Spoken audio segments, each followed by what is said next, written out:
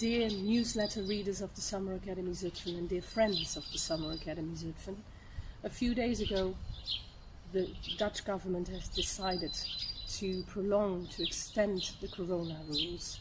That means that till the 1st of September we are not allowed to do any concerts or do any activities within one meter and a half distance of each other.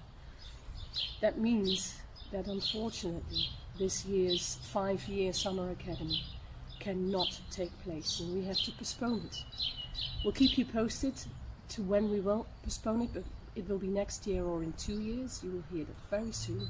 But for now, stay all very healthy, stay safe, and we wish you a happy summer and see you very soon in Zutphen again.